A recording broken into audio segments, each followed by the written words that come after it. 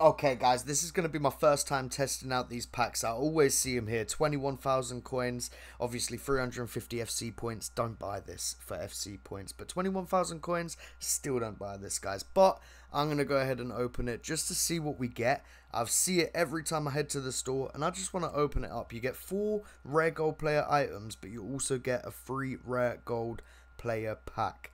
21,000 coins, let's just see what we get, guys. Let's just see what we get. Can we potentially make some coins back here? Uh, that's 84 Depay in it. 84 Depay.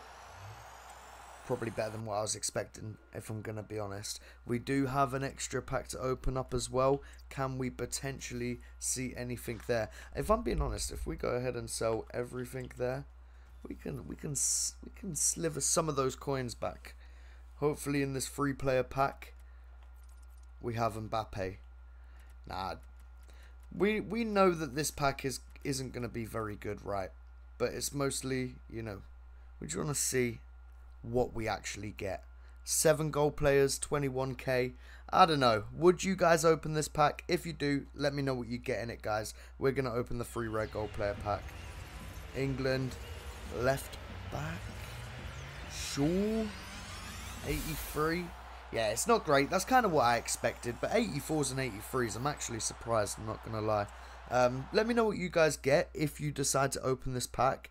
But what I will say, don't open this pack, guys. You might get lucky, but it's going to be a difficult one. I appreciate you guys watching, and I'll catch you in the next video, guys. Peace out. Peace out.